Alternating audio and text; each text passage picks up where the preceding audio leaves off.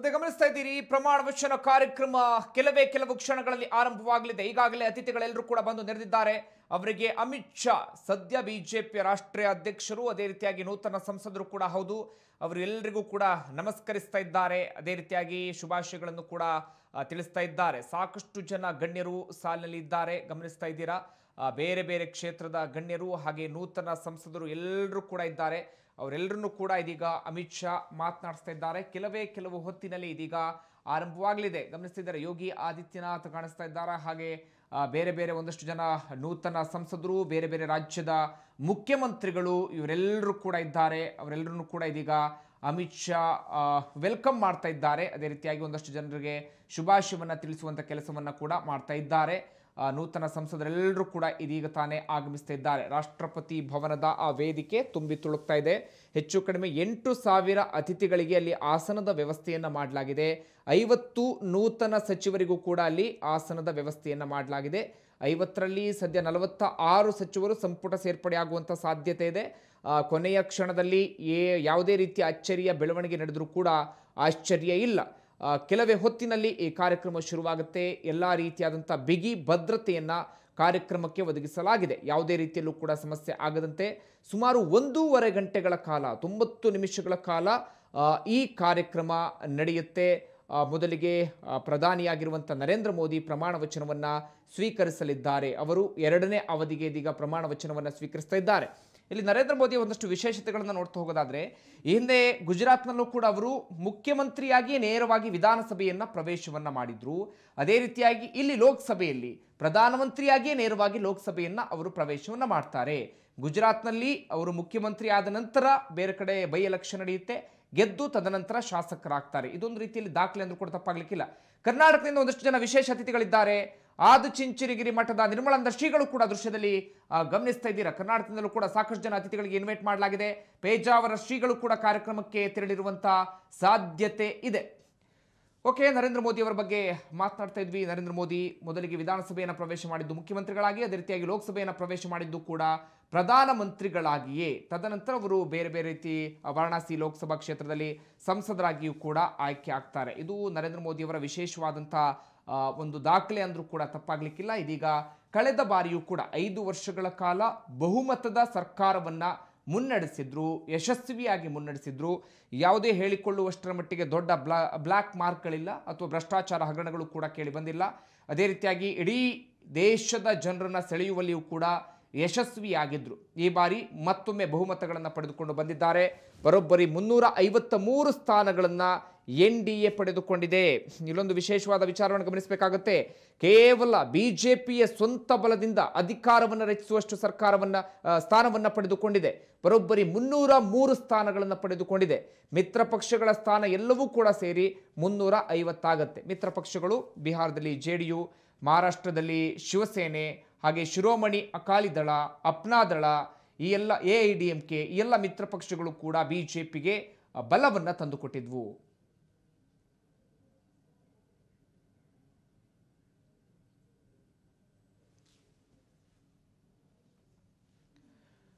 ಗಮನಿಸ್ತಾ ಇದ್ದೀರಾ? ಸದ್ಯ ರಾಷ್ಟ್ರಪತಿ ಭವನದಲ್ಲಿ ಕಾರ್ಯಕ್ರಮಕ್ಕೆ ಈಗಾಗಲೇ ಕ್ಷಣಗಳನ್ನೇ ಆರಂಭವಾಗಿದೆ.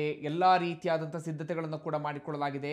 ಅತಿಥಿಗಳೆಲ್ಲರೂ ಕೂಡ ಆಗಮಿಸಿದ್ದಾರೆ. ರಾಜವರ್ಧನ್ ಸಿಂಗ್ ರಾಥೋಡ್ ಕಳೆದ ಬಾರಿ ಸಚಿವರಾಗಿ ಕೆಲಸವನ್ನು ಮಾಡಿದ್ರು. ಈ ಬಾರಿ ಮತ್ತೊಮ್ಮೆ ಸಂಸದರಾಗಿ ಆಯ್ಕೆಯಾಗಿದ್ದಾರೆ. ಅವರನ್ನ ದೃಶ್ಯದಲ್ಲಿ ಗಮನಿಸ್ತಾ ಇದ್ದೀರಾ? ಅದೇ ರೀತಿಯಾಗಿ ಸಾಕಷ್ಟು ಬೇರೆ ಬೇರೆ ರಾಜ್ಯದ ಮುಖ್ಯಮಂತ್ರಿಗಳಾಗಿರ್ಬೋದು, ನೂತನ ಸಂಸದರಾಗಿರ್ಬೋದು ಅಥವಾ ಬೇರೆ ಬೇರೆ ಕ್ಷೇತ್ರದ ಗಣ್ಯರಾಗಿರಬಹುದು ಅವರೆಲ್ಲರೂ ಕೂಡ ಕಾರ್ಯಕ್ರಮಕ್ಕೆ ಧಾವಿಸಿದ್ದಾರೆ. ಇಡೀ ದೇಶವೇ ಕುತೂಹಲದಿಂದ ಕಾಯ್ತಾ ಇದೆ. ಇಷ್ಟೊತ್ತಿಗೆ ಪ್ರಮಾಣ ವಚನ ಕಾರ್ಯಕ್ರಮ ಶುರುವಾಗುತ್ತೆ. ಕಣ್ತುಂಬಿಕೊಳ್ಳಬೇಕು ಆ, ಇಡೀ ದೇಶವೇ ಇದೀಗ ಕಾಯ್ತಾ ಇದೆ. ಕೆಲವೇ ಕೆಲವು ಹೊತ್ತಿನಲ್ಲಿ ಪ್ರಧಾನಿ ನರೇಂದ್ರ ಮೋದಿ ಪ್ರಮಾಣ ವಚನವನ್ನು ಸ್ವೀಕರಿಸಲಿದ್ದಾರೆ. ಮೋದಿಯ ನಂತರ ನೂತನ ಸಚಿವರೆಲ್ಲರೂ ಕೂಡ ಪ್ರಮಾಣ ವಚನವನ್ನು ಸ್ವೀಕರಿಸ್ತಾರೆ. ಸದ್ಯ ದೃಶ್ಯದಲ್ಲಿ ನೋಡ್ತಿರುವ ಹಾಗೆ ಬೇರೆ ಬೇರೆ ಕ್ಷೇತ್ರದ ಗಣ್ಯರೆಲ್ಲರೂ ಕೂಡ ಕಾಣ್ತಾ ಇದ್ದಾರೆ. ಸ್ಮೃತಿ ಇರಾನಿ ಈ ಬಾರಿ ಜೈಂಟ್ ಕಿಲ್ಲರ್ ಎಂದು ಕರೆಸಿಕೊಳ್ತಾ ಇದ್ದಾರೆ. ಅಮೇಥಿ ಲೋಕಸಭಾ ಕ್ಷೇತ್ರದಲ್ಲಿ ಭರ್ಜರಿಯ ಗೆಲುವನ್ನು ಸಾಧಿಸಿದ್ರು. ರಾಹುಲ್ ಗಾಂಧಿ ವಿರುದ್ಧ ಗೆಲುವನ್ನು ಸಾಧಿಸಿದ್ರು. ಸದ್ಯ ಸ್ಮೃತಿ ಇರಾನಿ ಕೂಡ ಕಾರ್ಯಕ್ರಮಕ್ಕೆ ಧಾವಿಸ್ತಾ ಇದ್ದಾರೆ. ಅದೇ ರೀತಿಯಾಗಿ ಸಾಕಷ್ಟು ಜನ ಅತಿಥಿಗಳು ಕೂಡ ಧಾವಿಸ್ತಿದ್ದಾರೆ ಒಂದು ವಿಶೇಷ ಅಂದರೆ ಹೆಚ್ಚು ಕಡಿಮೆ ಎಂಟು ಸಾವಿರ ಅತಿಥಿಗಳು ಈ ಕಾರ್ಯಕ್ರಮಕ್ಕೆ ಈ ಬಾರಿ ಧಾವಿಸ್ತಾ ಇದ್ದಾರೆ. ಇಶಾ ಫೌಂಡೇಶನ್ನ ಮುಖ್ಯಸ್ಥರು ಕೂಡ ಸ್ವಾಮೀಜಿ ಅವರು ಕೂಡ ಇದೀಗ ಧಾವಿಸಿದ್ದಾರೆ. ಸದ್ಗುರು ಅವರನ್ನು ಕೂಡ ಇದೀಗ ದೃಶ್ಯದಲ್ಲಿ ಗಮನಿಸ್ತಾ ಇದ್ದೀರಾ? ಈ ರೀತಿಯಾಗಿ ಬೇರೆ ಬೇರೆ ಕ್ಷೇತ್ರದ ಗಣ್ಯರೆಲ್ಲರಿಗೂ ಕೂಡ ಈ ಬಾರಿ ಇನ್ವೈಟನ್ನು ಮಾಡಲಾಗಿದೆ. ಅದೇ ರೀತಿಯಾಗಿ ಈ ಬಾರಿ ನರೇಂದ್ರ ಮೋದಿ ಮತ್ತೊಂದು ದಾಖಲೆಯನ್ನು ಮಾಡ್ತಾ ಇದ್ದಾರೆ. ಎರಡು ಅವಧಿಗೆ ಬಹುಮತವನ್ನು ಪಡೆದುಕೊಂಡಿದ್ದಾರೆ. ಕಳೆದ ಬಾರಿಯೂ ಕೂಡ ಪೂರ್ಣ ಬಹುಮತವನ್ನು ಪಡೆದುಕೊಂಡಿದ್ದರು ಮುನ್ನೂರ, ಕಳೆದ ಬಾರಿ ಸ್ವಲ್ಪ ಮಟ್ಟಿಗೆ ಕಡಿಮೆ ಇತ್ತು. ಮುನ್ನೂರ ಮೂವತ್ತ್ಮೂರು ಸ್ಥಾನಗಳು. ಬಿ ಜೆ ಪಿ ಸ್ವಂತ ಬಲದಿಂದ ಇನ್ನೂರ ಎಂಬತ್ತೆರಡು ಸ್ಥಾನಗಳನ್ನು ಪಡೆದುಕೊಂಡಿತ್ತು. ಬಹುಮತದ ಸರ್ಕಾರವೇ ಆಗಿತ್ತು. ಯಾವುದೇ ರೀತಿಯಲ್ಲೂ ಕೂಡ ಸರ್ಕಾರಕ್ಕೆ ಸಮಸ್ಯೆ ಎದುರಾಗಿರಲಿಲ್ಲ. ಇನ್ನು ಈ ಬಾರಿಯೂ ಕೂಡ ಭರ್ಜರಿಯಾಗಿ ಮುನ್ನೂರ ಐವತ್ತ ಮೂರು ಸ್ಥಾನಗಳನ್ನು ಪಡೆದುಕೊಂಡಿದೆ ಎನ್ ಡಿ ಎ. ಇನ್ನು ಬಿ ಜೆ ಪಿಯೇ ಸ್ವಂತ ಬಲದಿಂದ ಮುನ್ನೂರ ಮೂರು ಸ್ಥಾನಗಳನ್ನು ಪಡೆದುಕೊಂಡು ಈ ಬಾರಿ ಮತ್ತೊಮ್ಮೆ ನರೇಂದ್ರ ಮೋದಿ ನೇತೃತ್ವದಲ್ಲಿ ಸರ್ಕಾರ ರಚನೆ ಆಗ್ತಾ ಇದೆ. ಪ್ರಮಾಣ ವಚನವನ್ನು ಕೂಡ ಕೆಲವೇ ಕೆಲವು ಕ್ಷಣಗಳಲ್ಲಿ ಸ್ವೀಕರಿಸಲಿದ್ದಾರೆ. ನರೇಂದ್ರ ಮೋದಿ ಅವರ ಜೊತೆಗೆ ನಲವತ್ತ ಆರು ಜನ ಸಚಿವರು ಕೂಡ ಪ್ರಮಾಣ ವಚನವನ್ನು ಸ್ವೀಕರಿಸಲಿದ್ದಾರೆ. ಅದರಲ್ಲಿ ಯಾರ್ಯಾರಿಗೆ ಯಾವ ಖಾತೆಯನ್ನು ಕೊಡ್ತಾರೆ ಅನ್ನೋದನ್ನು ಕೂಡ ನಾವು ಕಾದು ನೋಡಬೇಕಾಗುತ್ತೆ. ಸಾಧಾರಣವಾಗಿ ನರೇಂದ್ರ ಮೋದಿ ಅವರು ಎಲ್ಲ ವಿಚಾರಗಳಲ್ಲೂ ಕೂಡ ಗೌಪ್ಯತೆಯನ್ನು ಕಾಪಾಡಿಕೊಳ್ತಾರೆ. ಕೊನೆಯ ಹಂತದಲ್ಲಿ ಎಲ್ಲ ವಿಚಾರವನ್ನು ಕೂಡ ತಿಳಿಸ್ತಾರೆ. ಈ ಬಾರಿಯೂ ಕೂಡ ನಮಗೆ ಕೊನೆಯ ಹಂತದಲ್ಲಿ ಕೂಡ ಗೊತ್ತಾಗ್ತಾ ಹೋಗುತ್ತೆ ಯಾರ್ಯಾರಿಗೆ ಯಾವ್ಯಾವ ಖಾತೆಯನ್ನು ಹಂಚ್ತಾರೆ ಅಂತೇಳಿ. ಅದರಲ್ಲೂ ಕೂಡ ಪ್ರಮುಖ ಖಾತೆಗಳಿಗೆ ಸ್ವಲ್ಪ ಮಟ್ಟಿಗೆ ಪೈಪೋಟಿ ಇದೆ. ಗೃಹ ಖಾತೆಗೆ ಈ ಹಿಂದೆಯಿಂದಲೂ ಕೂಡ ರಾಜನಾಥ್ ಸಿಂಗ್ ನಿಭಾಯಿಸ್ತಾ ಇದ್ರು. ಅದೇ ರೀತಿಯಾಗಿ ರಾಜನಾಥ್ ಸಿಂಗ್ ಈಗಾಗಲೇ ಪಟ್ಟು ಹಿಡಿದು ಕುಳಿತುಕೊಂಡಿದ್ದಾರೆ. ಆ ಖಾತೆಯನ್ನು ನನಗೆ ಕೊಡಬೇಕು ಅಂತ ಹೇಳಿ ರಾಜನಾಥ್ ಸಿಂಗ್ ಜೊತೆಗೆ ಈ ಬಾರಿ ಅಮಿತ್ ಶಾ ಕೂಡ ಪೈಪೋಟಿಯನ್ನು ಒಡ್ತಾ ಇದ್ದಾರೆ. ಖಾತೆಯನ್ನು ಪಡೆದುಕೊಳ್ಳುವಂಥ ಉದ್ದೇಶದಿಂದ. ಇನ್ನು ರಾಮ್ ವಿಲಾಸ್ ಪಾಸ್ವಾನ್ ಇದ್ದಾರೆ. ಅದೇ ರೀತಿಯಾಗಿ ರವಿಶಂಕರ್ ಪ್ರಸಾದ್ ಅವರನ್ನು ಕೂಡ ದೃಶ್ಯದಲ್ಲಿ ಗಮನಿಸ್ತಾ ಇದ್ದೀರಾ?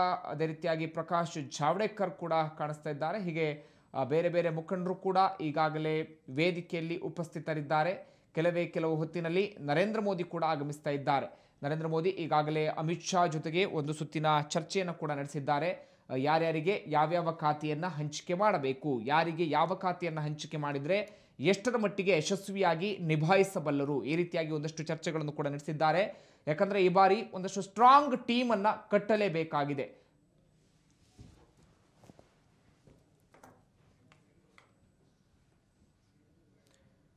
ಇನ್ನು ನಿಯೋಜಿತ ಸಚಿವರಿಗೆ ಮೀಸಲಾದಂತ ಕುರ್ಚಿಯಲ್ಲಿ ಆಸೀನರಾಗಿದ್ದಾರೆ ಅಮಿತ್ ಶಾ. ನಿಯೋಜಿತ ಸಚಿವ ನಿತಿನ್ ಗಡ್ಕರಿ ಪಕ್ಕದಲ್ಲಿ ಅಮಿತ್ ಶಾ ಕುಳಿತುಕೊಂಡಿದ್ದಾರೆ. ಅಂದರೆ ಅಮಿತ್ ಶಾ ಸಚಿವ ಸಂಪುಟಕ್ಕೆ ಸೇರ್ಪಡೆ ಆಗೋದು ಕನ್ಫರ್ಮ್ ಪಕ್ಕ?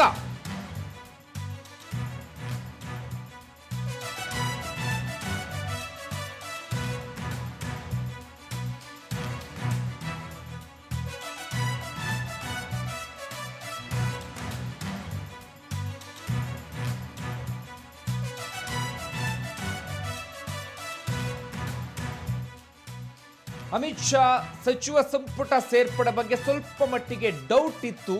ಅಮಿತ್ ಶಾ ಸೇರ್ಪಡೆ ಆಗ್ತಾರೋ ಇಲ್ವೋ ಅನ್ನುವ ರೀತಿಯಲ್ಲಿ, ಯಾಕಂದ್ರೆ ಬಿಜೆಪಿಯ ರಾಷ್ಟ್ರೀಯ ಅಧ್ಯಕ್ಷರಾಗಿ ಕೆಲಸವನ್ನ ಮಾಡ್ತಾ ಇದ್ರು. ಪಕ್ಷ ಬಲವರ್ಧನೆಗಾಗಿ ಅವರು ಸಚಿವ ಸಂಪುಟ ಸೇರ್ಪಡೆ ಆಗೋದು ಕಷ್ಟ ಅಥವಾ ಡೌಟ್ ಎನ್ನುವಂತ ಮಾತುಗಳು ಕೇಳಿ ಬರ್ತಾ ಇತ್ತು. ಆದರೆ ಇದೀಗ ಅಮಿತ್ ಶಾ ನಿಯೋಜಿತ ಸಚಿವರಿಗೆ ಮೀಸಲಾದಂತ ಆಸನದಲ್ಲಿಯೇ ಕುಳಿತುಕೊಂಡಿದ್ದಾರೆ. ನಿಯೋಜಿತ ಸಚಿವರಾಗಿರುವಂತ ನಿತಿನ್ ಗಡ್ಕರಿ ಪಕ್ಕದಲ್ಲಿಯೇ ಅಮಿತ್ ಶಾ ಕುಳಿತುಕೊಂಡಿದ್ದಾರೆ. ಅಂದರೆ ಅಮಿತ್ ಶಾ ಕೇಂದ್ರ ಸಚಿವ ಸಂಪುಟಕ್ಕೆ ಸೇರ್ಪಡೆ ಆಗೋದು ಪಕ್ಕ ಅಂತ ಆಗ್ತಾ ಇದೆ.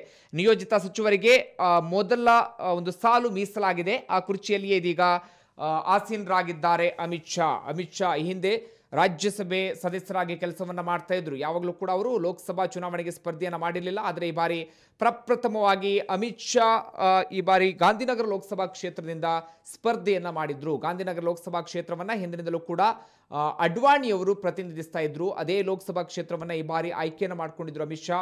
ಭಾರೀ ಮತಗಳ ಹಂತದಿಂದ ಅಮಿತ್ ಶಾ ಗೆಲುವನ್ನು ಕೂಡ ಸಾಧಿಸಿದ್ರು. ಈಗ ಸದ್ಯ ಸಚಿವರಾಗಿ ಅವರು ಕೂಡ ಪ್ರಮಾಣ ವಚನವನ್ನು ಸ್ವೀಕರಿಸಲಿದ್ದಾರೆ. ಸದೃಶ್ಯದಲ್ಲೂ ಕೂಡ ಗಮನಿಸ್ತಾ ಇದ್ದೀರಾ? ಅಂಬಾನಿ ದಂಪತಿಗಳು ಕೂಡ ಇದೀಗ ಅತಿಥಿಗಳಾಗಿ ಆಗಮಿಸ್ತಾ ಇದ್ದಾರೆ. ಅವರಿಗೆ ಮೀಸಲಾಗಿರುವಂತಹ ಆಸನದಲ್ಲಿ ಅವರು ಕೂಡ ಇದೀಗ ಕುಳಿತುಕೊಳ್ತಾ ಇದ್ದಾರೆ. ಇದೇ ರೀತಿಯಾಗಿ ಸಾಕಷ್ಟು ಜನ ಗಣ್ಯರು ಕೂಡ ಆಗಮಿಸ್ತಾ ಇದ್ದಾರೆ. ಸದ್ಯ ಅಮಿತ್ ಶಾ ಅವರ ಬಗ್ಗೆ ಮಾತನಾಡ್ತಿದ್ವಿ. ಅಮಿತ್ ಶಾ ರಾಜ್ಯಸಭೆ ಸದಸ್ಯರಾಗಿದ್ದರು ಈ ಬಾರಿ ಗಾಂಧಿನಗರ ಲೋಕಸಭಾ ಕ್ಷೇತ್ರದಲ್ಲಿ ಭಾರಿ ಮತಗಳ ಅಂತರದಿಂದ ಗೆಲುವನ್ನು ಸಾಧಿಸಿದ್ದಾರೆ. ಹಾಗೆ ಬಿಜೆಪಿ ವಲಯದಲ್ಲಿ ಚಾಣಕ್ಯ ಅಂತ ಕರೆಸಿಕೊಳ್ತಾರೆ.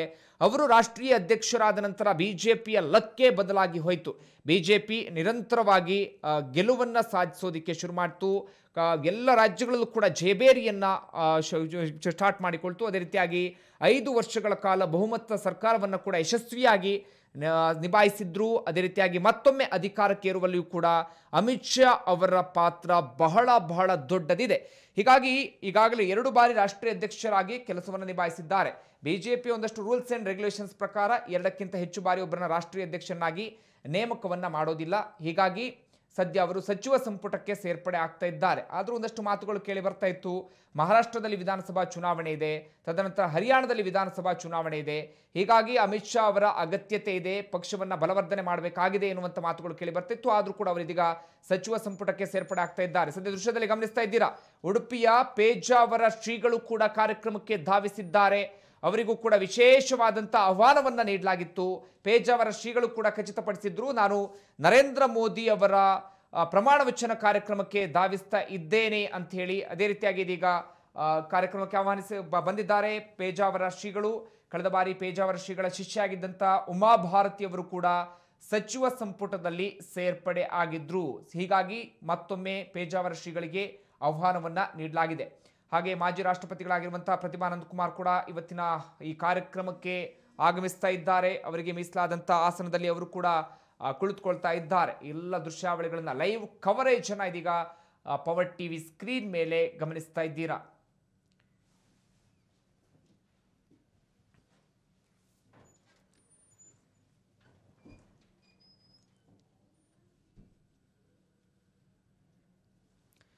ಇನ್ನು ಈ ಬಾರಿಯ ಸಚಿವ ಸಂಪುಟ ಬಹಳ ವಿಶೇಷವಾಗಿದೆ. ಸಚಿವ ಸಂಪುಟವನ್ನು ಸ್ವಲ್ಪ ಮಟ್ಟಿಗೆ ಗಮನಿಸ್ತಾ ಹೋಗೋಣ.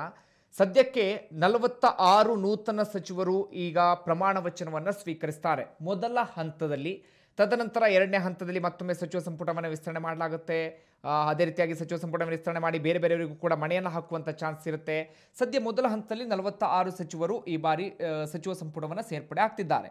ನಲವತ್ತಾರರಲ್ಲಿ ಮೂವತ್ತ ಆರು ಜನರು ಈ ಹಿಂದಿನಿಂದಲೂ ಕೂಡ ಸಚಿವರಾಗಿ ಕೆಲಸವನ್ನು ಮಾಡಿದಂಥ ಅನುಭವಿಗಳು. ಇನ್ನು ಹತ್ತು ಜನರಿಗೆ ವಿಶೇಷವಾಗಿ ಮಣೆಯನ್ನು ಹಾಕಲಾಗಿದೆ. ಇವರೆಲ್ಲರೂ ಕೂಡ ನೂತನವಾದಂಥ ಸಚಿವರು. ಫಾರ್ ಎಕ್ಸಾಂಪಲ್ ನಮ್ಮ ಬೆಳಗಾವಿ ಲೋಕಸಭಾ ಕ್ಷೇತ್ರದಿಂದ ಸುರೇಶ್ ಅಂಗಡಿ ಅವರಾಗಿರ್ಬೋದು ಅಥವಾ ಧಾರವಾಡ ಲೋಕಸಭಾ ಕ್ಷೇತ್ರದಿಂದ ಪ್ರಹ್ಲಾದ್ ಜೋಶಿ ಆಗಿರ್ಬೋದು ಇವರು ಯಾರಿಗೂ ಕೂಡ ಸಚಿವರಾಗಿ ಕೆಲಸವನ್ನು ಮಾಡಿದಂಥ ಅನುಭವ ಇಲ್ಲ. ಆದರೆ ಈ ಬಾರಿ ಇವರೆಲ್ಲರಿಗೂ ಕೂಡ ವಿಶೇಷವಾಗಿ ಮಣೆಯನ್ನು ಹಾಕಲಾಗ್ತಾ ಇದೆ. ಈ ಮೂಲಕ ಮೋದಿ ಸ್ಟ್ರಾಂಗ್ ಟೀಮ್ ಒಂದನ್ನು ಕಟ್ತಾ ಇದ್ದಾರೆ. ಸಚಿವ ಸಂಪುಟವನ್ನು ಬಲಗೊಳಿಸುವಂಥ ಪ್ರಯತ್ನವನ್ನು ಕೂಡ ಈ ಬಾರಿ ನೋಡ್ತಾ ಇದ್ದಾರೆ. ಈ ಬಾರಿಯ ಸಚಿವ ಸಂಪುಟ ಬಹಳ ವಿಶೇಷವಾಗಿ ಕಂಡು ಬರ್ತಾ ಇದೆ. ಹಾಗೆ ಘಟಾನುಘಟಿ ನಾಯಕರು ಕೂಡ ಸಚಿವ ಸಂಪುಟಕ್ಕೆ ಸೇರ್ಪಡೆ ಆಗ್ತಾ ಇದ್ದಾರೆ. ಬಿ ಜೆ ಪಿಯಲ್ಲಿ ಹಿರಿಯ ನಾಯಕರು ಅಂತ ಕರೆಸ್ಕೊಳ್ತಾರಲ್ಲ, ಅವರೆಲ್ಲರೂ ಕೂಡ ಈ ಬಾರಿಯ ಸಚಿವ ಸಂಪುಟಕ್ಕೆ ಸೇರ್ಪಡೆ ಆಗ್ತಿದ್ದಾರೆ. ಸದ್ಯ ಹಿರಿಯ ನಾಯಕರಾಗಿರುವಂಥ ಪ್ರಕಾಶ್ ಸಿಂಗ್ ಬಾದಲ್ ಕೂಡ ಕಾರ್ಯಕ್ರಮಕ್ಕೆ ಧಾವಿಸ್ತಾ ಇದ್ದಾರೆ. ಅವರಿಗೆ ಮೀಸಲಾಗಿರುವಂಥ ಆಸನದಲ್ಲಿ ಅವರು ಕೂಡ ಕುಳಿತುಕೊಳ್ತಾ ಇದ್ದಾರೆ. ಎಲ್ಲರ ಕಾಯುವಿಕೆ ಇರೋದು, ಎಲ್ಲರ ಕುತೂಹಲ ಇರೋದು, ಎಲ್ಲರ ನಿರೀಕ್ಷೆ ಇರೋದು ನರೇಂದ್ರ ಮೋದಿಯವರ ಕುರಿತಾಗಿ. ಯಾವಾಗ ನರೇಂದ್ರ ಮೋದಿ ಆಗಮಿಸ್ತಾರೆ? ಪ್ರಮಾಣ ವಚನ ಕಾರ್ಯಕ್ರಮ ಯಾವಾಗ ಆರಂಭವಾಗುತ್ತೆ ಅಂತ ಹೇಳಿ ಇಡೀ ದೇಶವೇ ಬಹಳ ಕುತೂಹಲದಿಂದ ಕಾಯ್ತಾ ಇದೆ. ಯಾಕಂದರೆ ಬಹಳ ದೊಡ್ಡ ಮಟ್ಟದಲ್ಲಿ ಜನಾದೇಶವನ್ನು ಕೊಟ್ಟಿದ್ದಾರೆ ನರೇಂದ್ರ ಮೋದಿಯವರ ಕಡೆಗೆ. ನರೇಂದ್ರ ಮೋದಿಯವರ ಹೆಸರಿನಲ್ಲಿ ಈ ಬಾರಿ ಚುನಾವಣೆ ನಡೆದಿತ್ತು. ಬಿ ಜೆ ಪಿ ಚುನಾವಣೆಯನ್ನು ಫೇಸ್ ಮಾಡಿತ್ತು. ನರೇಂದ್ರ ಮೋದಿಯವರ ಅಲೆಯಲ್ಲಿಯೇ ಭರ್ಜರಿಯಾಗಿ ಗೆಲುವನ್ನು ಕೂಡ ಸಾಧಿಸಿತ್ತು. ನರೇಂದ್ರ ಮೋದಿಯವರ ಅಲೆಯಲ್ಲಿಯೇ ಸಾಕಷ್ಟು ಜನ ಸಂಸದರಾಗಿಯೂ ಕೂಡ ಆಯ್ಕೆಯಾಗಿದ್ದರು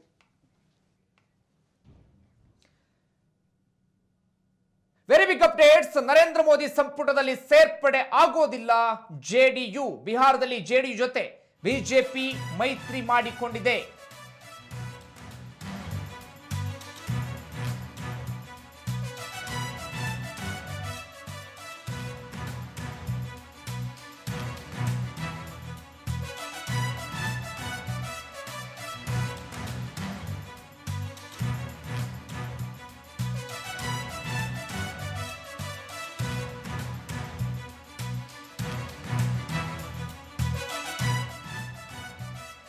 ಬಿಹಾರದ ಮುಖ್ಯಮಂತ್ರಿಗಳಾಗಿರುವಂತಹ ನಿತೀಶ್ ಕುಮಾರ್ ನೇತೃತ್ವದ ಜೆಡಿಯು, ಎನ್ ಡಿ ಎ, ಮಿತ್ರ ಪಕ್ಷ, ಎನ್ ಡಿ ಎ ಮೈತ್ರಿಕೂಟದಲ್ಲಿ ಜೆಡಿಯು ಕೂಡ ಇದೆ. ಆದರೆ ಜೆಡಿಯುಗೆ ಯಾವುದೇ ಸಚಿವ ಸ್ಥಾನವನ್ನ ನೀಡ್ತಾ ಇಲ್ಲ. ಬಿಹಾರದ ನಲವತ್ತು ಕ್ಷೇತ್ರಗಳ ಪೈಕಿ ಹದಿನಾರು ಕ್ಷೇತ್ರಗಳಲ್ಲಿ ಜೆಡಿಯು ಗೆಲುವನ್ನ ಸಾಧಿಸಿತ್ತು. ಬಿಹಾರದ ಹದಿನೇಳು ಕ್ಷೇತ್ರಗಳಲ್ಲಿ ಬಿಜೆಪಿ ಅಭ್ಯರ್ಥಿಗಳು ಗೆಲುವನ್ನ ಸಾಧಿಸಿದ್ರು. ಎನ್ ಡಿ ಎ ಮಿತ್ರ ಪಕ್ಷವಾಗಿರುವಂತಹ Lok Janshakti L P J ಆರು ಸಂಸದರನ್ನ ಇಲ್ಲಿ ಪಡೆದುಕೊಂಡಿತ್ತು. ಬಿಹಾರದ ಮುಖ್ಯಮಂತ್ರಿ ಆಗಿರುವಂತಹ ಜೆಡಿಯು ಮುಖ್ಯಸ್ಥ ನಿತೀಶ್ ಕುಮಾರ್ ಪ್ರಮುಖ ಮಿತ್ರ ಪಕ್ಷ ಆಗಿದೆ ಜೆಡಿಯು ಆದರೆ ಸರ್ಕಾರದಲ್ಲಿ ಜೆಡಿಯು ಭಾಗಿ ಆಗ್ತಾ ಇಲ್ಲ. ಸರ್ಕಾರದಲ್ಲಿ ಭಾಗಿ ಆಗ್ತೀವಿ, ಸಂಪುಟದಲ್ಲಿ ಇರಲ್ಲ ಅಂತೇಳಿ ಈಗಾಗಲೇ ನಿತೀಶ್ ಕುಮಾರ್ ಸ್ಪಷ್ಟನೆಯನ್ನ ಕೊಟ್ಟಿದ್ದಾರೆ. ಈಗಾಗಲೇ ಒಂದಷ್ಟು ಕುತೂಹಲಗಳಿತ್ತು. ಮಿತ್ರ ಪಕ್ಷಗಳಿಗೆ ಎಷ್ಟೆಷ್ಟು ಸಚಿವ ಸ್ಥಾನವನ್ನು ನೀಡಬಹುದು ಅಂತೇಳಿ, ಆದರೆ ಜೆಡಿಯು ಈ ಬಾರಿ ಸರ್ಕಾರದ ಭಾಗ ಆಗ್ತಾ ಇಲ್ಲ.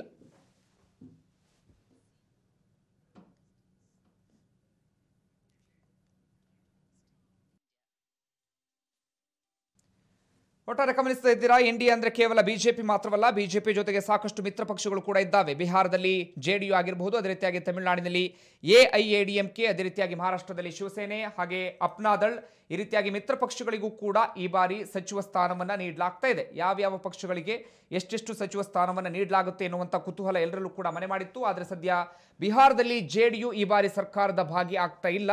ಯಾವುದೇ ಸಚಿವ ಸ್ಥಾನವನ್ನು ಕೂಡ ನೀಡ್ತಾ ಇಲ್ಲ. ಬಿಹಾರದಲ್ಲಿ ಜೆಡಿಯು ಕೂಡ ಉತ್ತಮ ಸಾಧನೆಯನ್ನು ಕೂಡ ಮಾಡಿತ್ತು. ಆದರೆ ಕೆಲವೊಂದು ಕಾರಣಗಳಿಗಾಗಿ ಸದ್ಯ ಸಚಿವ ಸ್ಥಾನವನ್ನು ನೀಡ್ತಾ ಇಲ್ಲ ಅಂತ ಕಾಣ್ತಾ ಇದೆ.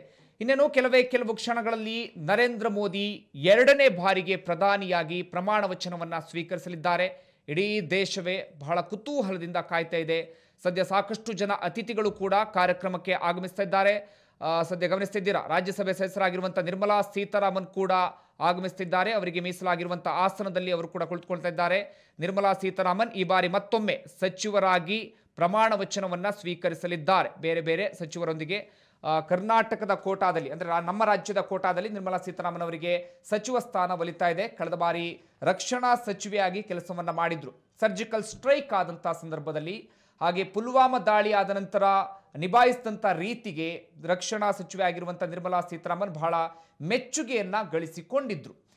ದೃಶ್ಯದಲ್ಲಿ ಗಮನಿಸ್ತಾ ಇದ್ದೀರಾ? ಸಾಕಷ್ಟು ಜನ ಅತಿಥಿಗಳು ಆಗಮಿಸುತ್ತಿದ್ದಾರೆ ಸದ್ಯ ಬಿಜೆಪಿಯ ಹಿರಿಯ ಮುಖಂಡರಾಗಿರುವಂಥ ಮುರಳಿ ಮನೋಹರ್ ಜೋಶಿ ಕೂಡ ಇವತ್ತಿನ ಕಾರ್ಯಕ್ರಮಕ್ಕೆ ಧಾವಿಸ್ತಾ ಇದ್ದಾರೆ. ಹಾಗೆ ಕರ್ನಾಟಕದಿಂದ ಉಡುಪಿಯ ಪೇಜಾವರ ಶ್ರೀಗಳು ಕೂಡ ಇವತ್ತಿನ ಕಾರ್ಯಕ್ರಮದಲ್ಲಿ ಉಪಸ್ಥಿತಿ ಇದ್ದಾರೆ. ಅವರು ಕೂಡ ಇದೀಗ ತಾನೇ ಕಾರ್ಯಕ್ರಮಕ್ಕೆ ಆಗಮಿಸಿದ್ದಾರೆ. ಅವರ ಶಿಷ್ಯ ಆಗಿರುವಂಥ ಉಮಾಭಾರತಿ ಜೊತೆಗೆ ಸದ್ಯ ಮಾತುಕತೆ ನಡೆಸ್ತಿರುವಂಥ ದೃಶ್ಯಾವಳಿಗಳನ್ನು ಕೂಡ ಗಮನಿಸ್ತಾ ಇದ್ದೀರಾ? ಉಮಾಭಾರತಿ ಕಳೆದ ಬಾರಿಯ ಸಚಿವ ಸಂಪುಟದಲ್ಲಿ ಇದ್ರು, ಆದರೆ ಈ ಬಾರಿ ಅವರಿಗೆ ಸಚಿವ ಸ್ಥಾನವನ್ನ ನೀಡ್ತಾ ಇಲ್ಲ.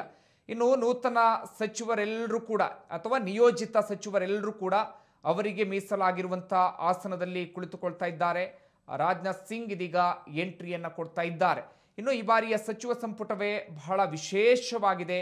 ಹತ್ತು ಜನರಿಗೆ ಅಥವಾ ಹತ್ತು ಜನ ಹೊಸ ಮುಖಗಳಿಗೆ ಈ ಬಾರಿ ಅವಕಾಶವನ್ನ ಮಾಡಿಕೊಡಲಾಗ್ತಿದೆ.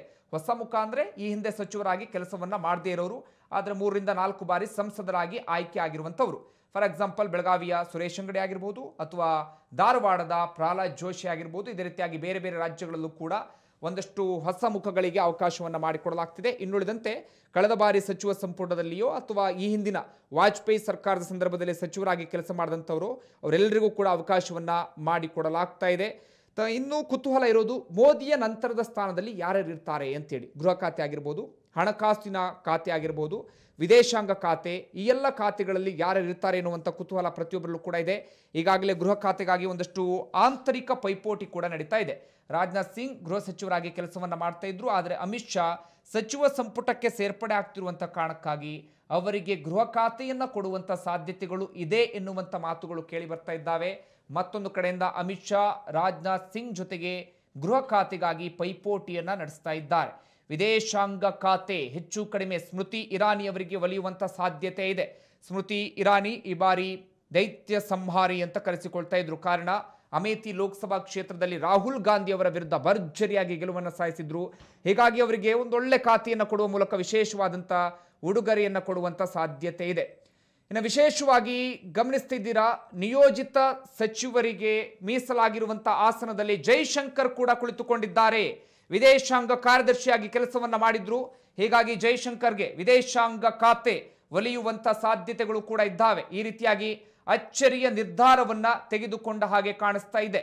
ಒಂದಷ್ಟು ಜನರಿಗೆ ಮೀಸಲು ಮಾಡಲಾಗಿದೆ. ನೂತನ ಸಚಿವರಿಗೆ ಅವರ ಮೀಸಲು ಆಸನದಲ್ಲಿಯೇ ಜೈಶಂಕರ್ ಕೂಡ ಕುಳಿತುಕೊಂಡಿದ್ದಾರೆ. ಈ ರೀತಿಯಾಗಿ ಒಂದಷ್ಟು ಹೊಸ ಮುಖಗಳಿಗೂ ಕೂಡ ಈ ಬಾರಿಯ ಸಚಿವ ಸಂಪುಟದಲ್ಲಿ ಮಣೆಯನ್ನ ಹಾಕಲಾಗ್ತಾ ಇದೆ. ಇನ್ನೇನು ಕೆಲವೇ ಕೆಲವು ಕ್ಷಣಗಳಲ್ಲಿ ಕಾರ್ಯಕ್ರಮ ಆರಂಭವಾಗುತ್ತೆ. ಈ ಬಾರಿಯ ಕಾರ್ಯಕ್ರಮಕ್ಕೆ ಎಂಟು ಸಾವಿರ ಅತಿಥಿಗಳು ಆಗಮಿಸಿದ್ದಾರೆ.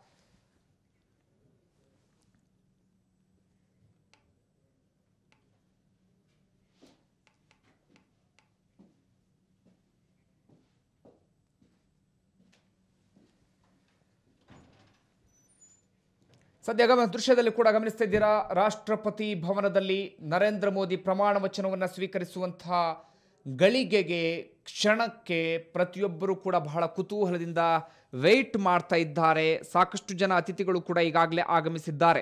ಬೇರೆ ಬೇರೆ ಕ್ಷೇತ್ರಗಳಿಂದ ಅತಿಥಿಗಳು ಆಗಮಿಸಿದ್ದಾರೆ. ಸಿನಿಮಾ ರಂಗದಿಂದ, ಕ್ರೀಡಾ ಕ್ಷೇತ್ರದಿಂದ, ಅದೇ ರೀತಿಯಾಗಿ ಉದ್ಯಮಿಗಳು ರತನ್ ಟಾಟಾ ಅವರನ್ನು ಕೂಡ ದೃಶ್ಯದಲ್ಲಿ ಗಮನಿಸ್ತಾ ಇದ್ದೀರಾ. ಉದ್ಯಮಿಗಳಾಗಿರ್ಬೋದು ಅಥವಾ ಸಂಗೀತ ಕ್ಷೇತ್ರದಿಂದ ಆಗಿರ್ಬೋದು ಅಥವಾ ಬೇರೆ ಬೇರೆ ಕಲಾವಿದರಾಗಿರ್ಬೋದು, ಇವರೆಲ್ಲರೂ ಕೂಡ ಇವತ್ತಿನ ಕಾರ್ಯಕ್ರಮಕ್ಕೆ ಆಗಮಿಸಿದ್ದಾರೆ. ಹಾಗೆ ಒಂದಷ್ಟು ಜನ ಬೇರೆ ಬೇರೆ ಮಠಗಳ ಮಠಾಧೀಶರು, ಸ್ವಾಮೀಜಿಗಳು ಇವರೆಲ್ಲರೂ ಕೂಡ ಆಗಮಿಸಿದ್ದಾರೆ. ಅವರೆಲ್ಲರೂ ಕೂಡ ವಿಶೇಷವಾದಂಥ ಆಸನದ ವ್ಯವಸ್ಥೆಯನ್ನು ಮಾಡಲಾಗಿದೆ. ಹಾಗೆ ಬಿಗಿ ಭದ್ರತೆಯನ್ನು ಮಾಡಲಾಗಿದೆ. ನರೇಂದ್ರ ಮೋದಿ ಸಂಪುಟಕ್ಕೆ ಜೈಶಂಕರ್ ಸೇರ್ಪಡೆ ಪಕ್ಕ ಮಾಜಿ ವಿದೇಶಾಂಗ ಕಾರ್ಯದರ್ಶಿ ಆಗಿರುವಂತಹ ಜೈಶಂಕರ್ ನಿಯೋಜಿತ ಸಚಿವರಿಗೆ ಮೀಸಲಾದಂತ ಕುರ್ಚಿಯಲ್ಲಿ ಆಸೀನರಾಗಿದ್ದಾರೆ ಜೈಶಂಕರ್.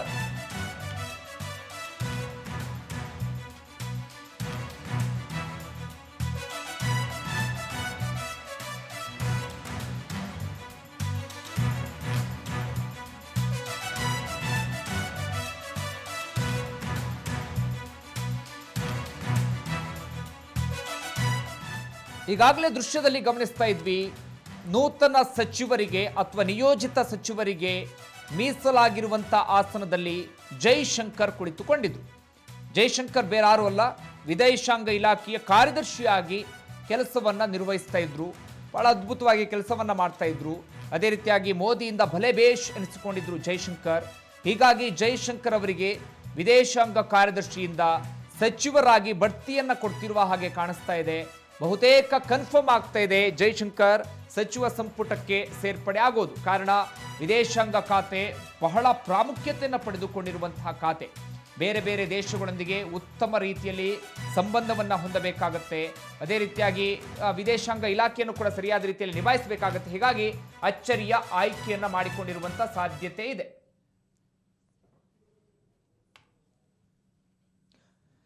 ಸದ್ಯ ಗಮನಿಸ್ತಾ ಇದ್ದೀರಾ? ಸೂಪರ್ ಸ್ಟಾರ್ ಎಂದು ಕರೆಸಿಕೊಳ್ಳುವಂತ ರಜನಿಕಾಂತ್ ದಂಪತಿ ಕೂಡ ಕಾರ್ಯಕ್ರಮಕ್ಕೆ ಆಗಮಿಸಿದ್ದಾರೆ. ರಜನಿಕಾಂತ್ ಪ್ರತಿಯೊಬ್ಬರನ್ನು ಕೂಡ ಇದೀಗ ಮಾತನಾಡಿಸ್ತಾ ಇದ್ದಾರೆ. ಅವರಿಗೆ ಮೀಸಲಾಗಿರುವಂತಹ ಆಸನದಲ್ಲಿ ಅವರು ಕೂಡ ಕುಳಿತುಕೊಳ್ಳಲಿದ್ದಾರೆ. ಒಬ್ಬೊಬ್ಬರಾಗಿ ಅತಿಥಿಗಳು ಇವತ್ತಿನ ಕಾರ್ಯಕ್ರಮಕ್ಕೆ ಆಗಮಿಸ್ತಾ ಇದ್ದಾರೆ. ನಿಯೋಜಿತ ಸಚಿವರಾಗಿರಬಹುದು ಅಥವಾ ಬೇರೆ ಬೇರೆ ಒಂದಷ್ಟು ಜನ ಅತಿಥಿಗಳು. ವೆರಿ ಇಂಟ್ರೆಸ್ಟಿಂಗ್ ಮಾಜಿ ಪ್ರಧಾನಿಗಳಾಗಿರುವಂಥ ಮನಮೋಹನ್ ಸಿಂಗ್ ಕೂಡ ಕಾರ್ಯಕ್ರಮಕ್ಕೆ ಇದೀಗ ತಾನೇ ಧಾವಿಸ್ತಾ ಇದ್ದಾರೆ. ಮನಮೋಹನ್ ಸಿಂಗ್ ಎರಡು ಅವಧಿಗಳ ಕಾಲ ಪ್ರಧಾನಿಯಾಗಿ ದಾಖಲೆಯನ್ನು ಕೂಡ ಬರೆದಿದ್ದರು ಮನಮೋಹನ್ ಸಿಂಗ್. ಎರಡು ಸಾವಿರದ ಹದಿನಾಲ್ಕಕ್ಕೂ ಮುನ್ನ ಮನಮೋಹನ್ ಸಿಂಗ್ ಪ್ರಧಾನಿಯಾಗಿ ಹತ್ತು ವರ್ಷಗಳ ಕಾಲ ಸೇವೆಯನ್ನು ಸಲ್ಲಿಸಿದ್ರು. ಅದೇ ರೀತಿಯಾಗಿ ಮನಮೋಹನ್ ಸಿಂಗ್ ಅವರಿಗೂ ಕೂಡ ವಿಶೇಷವಾದಂಥ ಆಹ್ವಾನವನ್ನು ನೀಡಲಾಗಿತ್ತು. ಸದ್ಯ ಮನಮೋಹನ್ ಸಿಂಗ್ ಕೂಡ ಕಾರ್ಯಕ್ರಮಕ್ಕೆ ಆಗಮಿಸ್ತಾ ಇದ್ದಾರೆ. ಅವರಿಗೆ ಮೀಸಲಾಗಿರುವಂಥ ಆಸನದಲ್ಲಿ ಮನಮೋಹನ್ ಸಿಂಗ್ ಕೂಡ ಕುಳಿತುಕೊಳ್ಳಲಿದ್ದಾರೆ.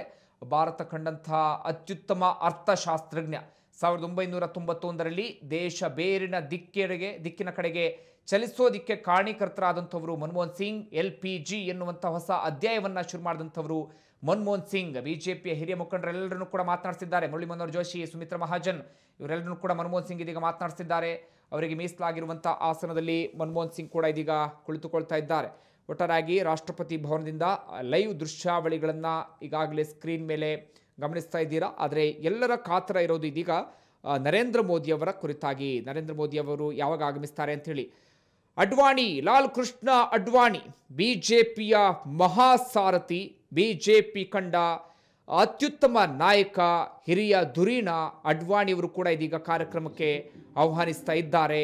ಅಡ್ವಾಣಿ ಹಾಗೆ ಮುರಳಿ ಮನೋಹರ್ ಜೋಶಿ ಇಬ್ಬರು ಕೂಡ ನರೇಂದ್ರ ಮೋದಿಯವರ ಕುರಿತಾಗಿ ಸ್ವಲ್ಪ ಮಟ್ಟಿಗೆ ಮುನಿಸ್ಕೊಂಡಿದ್ದಾರೆ ಎನ್ನುವಂಥ ಮಾತುಗಳು ಹಿಂದೆ ಕೇಳಿ ಬರ್ತಾ ಇತ್ತು. ಆದರೆ ನರೇಂದ್ರ ಮೋದಿ ಭರ್ಜರಿ ಬಹುಮತವನ್ನು ಪಡೆದುಕೊಳ್ತಾ ಇದ್ದ ಹಾಗೆ ಮೊದಲು ಮಾಡಿದಂತಹ ಕೆಲಸ ಅಡ್ವಾಣಿ ಹಾಗೆ ಮುರಳಿ ಮನೋಹರ್ ಜೋಶಿಯವರ ನಿವಾಸಕ್ಕೆ ತೆರಳಿ ಅವರಿಗೆ ಆಶೀರ್ವಾದವನ್ನು ಪಡೆದುಕೊಂಡಿದ್ದರು ಇದೀಗ ಅಡ್ವಾಣಿಯವರು ಕೂಡ ಕಾರ್ಯಕ್ರಮಕ್ಕೆ ಆಹ್ವಾನಿಸಿದ್ದಾರೆ. ಆಹ್ವಾನ ಕೊಟ್ಟಿದ್ರು. ಅವರು ಕೂಡ ಇದೀಗ ಆಗಮಿಸಿದ್ದಾರೆ. ಅದೇ ರೀತಿಯಾಗಿ ಮುರಳಿ ಮನೋಹರ್ ಜೋಶಿ ಕೂಡ ಈಗಾಗಲೇ ಕಾರ್ಯಕ್ರಮಕ್ಕೆ ಬಂದಿದ್ದಾರೆ. ಅವರೆಲ್ಲರಿಗೂ ಕೂಡ ಮೀಸಲಾಗಿರುವಂಥ ಆಸನದಲ್ಲಿ ಕುಳಿತುಕೊಳ್ತಾ ಇದ್ದಾರೆ. ಗಮನಿಸ್ತಾ ಇದ್ದೀರಾ?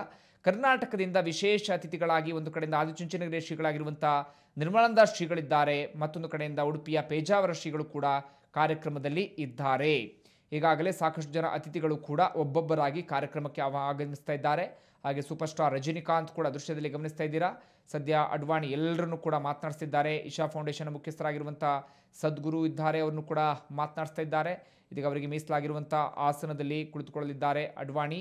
ಬಿಜೆಪಿಯ ಮಹಾಸಾರಥಿಯಿಂದ ಕರೆಸಿಕೊಳ್ತಾ ಇದ್ರು. ಹಾಗೆ ಕರ್ನಾಟಕದ ಮುಖ್ಯಮಂತ್ರಿಗಳಾಗಿರುವಂಥ ಕುಮಾರಸ್ವಾಮಿ ಕಾರ್ಯಕ್ರಮಕ್ಕೆ ಆಹ್ವಾನಿಸಿದ್ದ, ಆಗಮಿಸಿದ್ದಾರೆ. ಮನಮೋಹನ್ ಸಿಂಗ್ ಅವರನ್ನ ಮಾತನಾಡಿಸಿ ಇದೀಗ ಮುಂದೆ ತೆರಳಿದ್ರು. ಅದೇ ರೀತಿಯಾಗಿ ತಮಿಳುನಾಡಿನ ಮುಖ್ಯಮಂತ್ರಿಗಳು ಕೂಡ ದೃಶ್ಯದಲ್ಲಿ ಗಮನಿಸ್ತಾ ಇದ್ದೀರಾ. ಹೇಗೆ ಬೇರೆ ಬೇರೆ ರಾಜ್ಯದ ಮುಖ್ಯಮಂತ್ರಿಗಳೆಲ್ಲರೂ ಕೂಡ ಕಾರ್ಯಕ್ರಮದಲ್ಲಿ ಭಾಗಿಯಾಗ್ತಾ ಇದ್ದಾರೆ. ಕುಮಾರಸ್ವಾಮಿ ಈಗಾಗಲೇ ರಾಹುಲ್ ಗಾಂಧಿ ಅವರನ್ನು ಕೂಡ ಭೇಟಿಯಾಗಿ ಮಾತುಕತೆ ನಡೆಸಿದ್ರು. ರಾಹುಲ್ ಗಾಂಧಿಯ ಭೇಟಿಯ ಬಳಿಕ ಇದೀಗ ಪ್ರಮಾಣೋಚನ ಕಾರ್ಯಕ್ರಮಕ್ಕೆ ಆಗಮಿಸ್ತಾ ಇದ್ದಾರೆ. ಶಶಿ ತರೂರ್ ಅವರನ್ನ ದೃಶ್ಯದಲ್ಲಿ ಗಮನಿಸ್ತಾ ಇದ್ದೀರಾ? ಹಾಗೆ ಬಿಹಾರದ ಮುಖ್ಯಮಂತ್ರಿಗಳಾಗಿರುವಂತಹ ನಿತೀಶ್ ಕುಮಾರ್ ಅವರು ಕೂಡ ಕಾರ್ಯಕ್ರಮದಲ್ಲಿದ್ದಾರೆ. ನಿತೀಶ್ ಕುಮಾರ್ ಮಿತ್ರ ಪಕ್ಷದಲ್ಲಿ ಒಬ್ಬರು, ಜೆ ಡಿ ಕೂಡ ಇದರಲ್ಲಿ ಒಬ್ಬರು ಆಗಿದ್ದಾರೆ. ಹಾಗೆ ಉಮನ್ ಚಾಂಡಿ ಅವರನ್ನು ಕೂಡ ಇದೀಗ ದೃಶ್ಯದಲ್ಲಿ ಗಮನಿಸ್ತಾ ಇದ್ದಾರೆ. ಹೀಗೆ ರಾಜ್ಯದ ಬೇರೆ ಬೇರೆ ರಾಜ್ಯದ ಮುಖ್ಯಮಂತ್ರಿಗಳು ಕೂಡ ಕಾರ್ಯಕ್ರಮಕ್ಕೆ ಒಬ್ಬೊಬ್ಬರಾಗಿ ಆಗಮಿಸ್ತಾ ಇದ್ದಾರೆ. ಕೆಲವೇ ಕೆಲವು ಹೊತ್ತಿನಲ್ಲಿ ಮೋದಿ ಎರಡನೇ ಬಾರಿಗೆ ಪ್ರಧಾನಿಯಾಗಿ ಪ್ರಮಾಣ ವಚನವನ್ನು ಕೂಡ ಸ್ವೀಕರಿಸಲಿದ್ದಾರೆ. ಇಡೀ ದೇಶವೇ ಬಹಳ ಕುತೂಹಲದಿಂದ ಕಾಯ್ತಾ ಇದೆ. ಇನ್ನು ನರೇಂದ್ರ ಮೋದಿ ಗುಜರಾತ್ನಲ್ಲಿ ಸತತವಾಗಿ ಹದಿಮೂರು ವರ್ಷಗಳ ಕಾಲ ಮುಖ್ಯಮಂತ್ರಿಯಾಗಿ ಕಾರ್ಯವನ್ನು ನಿರ್ವಹಿಸಿದ್ರು. ಒಂದು ರೀತಿಯಲ್ಲಿ ಹೊಸ ಮಾದರಿಯನ್ನು ಮಾಡಿಕೊಟ್ಟಿದ್ರು. ಇಡೀ ದೇಶಕ್ಕೆ ಅಭಿವೃದ್ಧಿಯ ಮಾದರಿ ಅಂದರೆ ಹೀಗಿರಬೇಕು ಅಂಥೇಳಿ ಇಡೀ ದೇಶಕ್ಕೆ ತೋರಿಸಿಕೊಟ್ಟಿದ್ರು. ತದನಂತರ ಬಿ ಜೆ ಪಿಯ ಪ್ರಧಾನ ಕಾರ್ಯದರ್ಶಿಗಳಾಗಿ ಅವರನ್ನು ಆಯ್ಕೆ ಮಾಡಲಾಯಿತು. ಹಾಗೆ ಸಾವಿರದ ಒಂಬೈನೂರ ತೊಂಬತ್ತೈದರ ನಂತರ ಬಿ ಜೆ ಪಿ ಪುಟಿದೇಳೋದಕ್ಕೆ ಶುರು ಮಾಡ್ತಲ್ಲ, ಅದರಲ್ಲಿ ನರೇಂದ್ರ ಮೋದಿಯವರ ಪಾತ್ರ ಕೂಡ ಪ್ರಮುಖವಾಗಿತ್ತು. ಹೀಗಾಗಿ ಎರಡು ಸಾವಿರದ ಹದಿನಾಲ್ಕರ ಚುನಾವಣೆಯ ಸಂದರ್ಭದಲ್ಲಿ ನರೇಂದ್ರ ಮೋದಿಯವರನ್ನು ಪ್ರಧಾನಿ ಅಭ್ಯರ್ಥಿ ಅಂಥೇಳಿ ಬಿಂಬಿಸಲಾಯಿತು. ಪ್ರಧಾನಿ ಅಭ್ಯರ್ಥಿ ಅಂತ ಬಿಂಬಿಸಿದ ನಂತರ ನರೇಂದ್ರ ಮೋದಿ ಅವರ ಅಲೆಯಲ್ಲಿ ಇಡೀ ದೇಶಾದ್ಯಂತ ಹೊಸ ರೀತಿಯಾದಂಥ ಸಂಚಲನ ಸೃಷ್ಟಿಯಾಗುತ್ತೆ, ಭರ್ಜರಿಯಾದಂಥ ಬಹುಮತವನ್ನು ಪಡೆದುಕೊಳ್ಳುತ್ತೆ N D A. N D A ಬರೋಬ್ಬರಿ ಮುನ್ನೂರ ಮೂವತ್ತ ಮೂರು ಸ್ಥಾನಗಳನ್ನು ಪಡೆದುಕೊಳ್ಳುತ್ತೆ. ಯಾವಾಗ? ಎರಡು ಸಾವಿರದ ಹದಿನಾಲ್ಕರ ಲೋಕಸಭಾ ಚುನಾವಣೆಯಲ್ಲಿ. ಬಿ ಜೆ ಪಿಯೇ ಸ್ವಂತ ಬಲ ಇನ್ನೂರ ಎಂಬತ್ತ ಎರಡು ಸ್ಥಾನಗಳನ್ನು ಪಡೆದುಕೊಳ್ಳುತ್ತೆ. ವಿಷಯದಲ್ಲಿ ಗಮನಿಸ್ತಾ ಇದ್ದೀರಾ? ಅರವಿಂದ್ ಕೇಜ್ರಿವಾಲ್, ದೆಹಲಿಯ ಮುಖ್ಯಮಂತ್ರಿಗಳು ಹಾಗೆ ಉಪಮುಖ್ಯಮಂತ್ರಿಗಳಾಗಿರುವಂಥ ಮನೀಶ್ ಸಿಸೋಡಿಯಾ ಕೂಡ ಕಾಣಿಸ್ತಾ ಇದ್ದಾರೆ.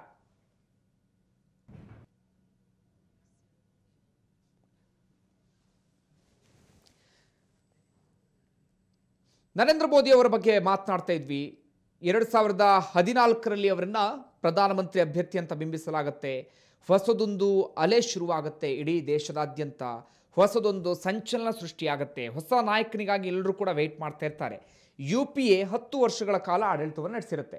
ಮೊದಲ ಅವಧಿ, ಎರಡು ಸಾವಿರದ ನಾಲ್ಕರಿಂದ ಎರಡು ಸಾವಿರದ ಒಂಬತ್ತು ಮನಮೋಹನ್ ಸಿಂಗ್ ಅವರು ಪ್ರಧಾನಿಯಾಗಿರ್ತಾರೆ ಒಂದಷ್ಟು ಹೊಸ ಯೋಜನೆಗಳನ್ನು ಜಾರಿಗೆ ತಂದಿರ್ತಾರೆ. ದೇಶದ ಆರ್ಥಿಕತೆ ಕೂಡ ಬಹಳ ಉತ್ತಮವಾಗಿರುತ್ತೆ. ದೇಶಾದ್ಯಂತ ಹೇಳಿಕೊಳ್ಳುವಷ್ಟು ಮಟ್ಟಿಗೆ ಆಡಳಿತ ವಿರೋಧಿ ಅಲೆ ಇರೋದಿಲ್ಲ. ಯು ಪಿ ಎ ಒನ್ ಬಗ್ಗೆ ದೇಶದಲ್ಲಿ ಯಾವುದೇ ರೀತಿಯಲ್ಲೂ ಕೂಡ ಜನರಲ್ಲಿ ಆಕ್ರೋಶ ಇರೋದಿಲ್ಲ, ಅಸಹನೆ ಇರೋದಿಲ್ಲ.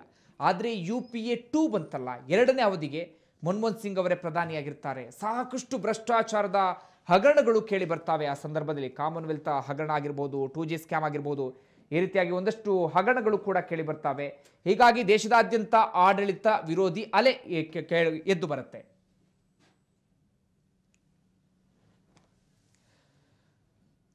ಯು ಪಿ ಎ ಎರಡು ವರ್ಷ, ಎರಡು ಅವಧಿಗೆ ಅಧಿಕಾರವನ್ನು ನಡೆಸುತ್ತೆ. ಎರಡನೇ ಅವಧಿಯಲ್ಲಿ ಒಂದಷ್ಟು ಆಡಳಿತ ವಿರೋಧಿ ಅಲೆ ದೇಶದಾದ್ಯಂತ ಕಂಡು ಬರುತ್ತೆ. ಇದು ಬಿಜೆಪಿಗೆ ದೊಡ್ಡ ಮಟ್ಟದಲ್ಲಿ ಪ್ಲಸ್ ಆಗ್ತಾ ಹೋಗುತ್ತೆ.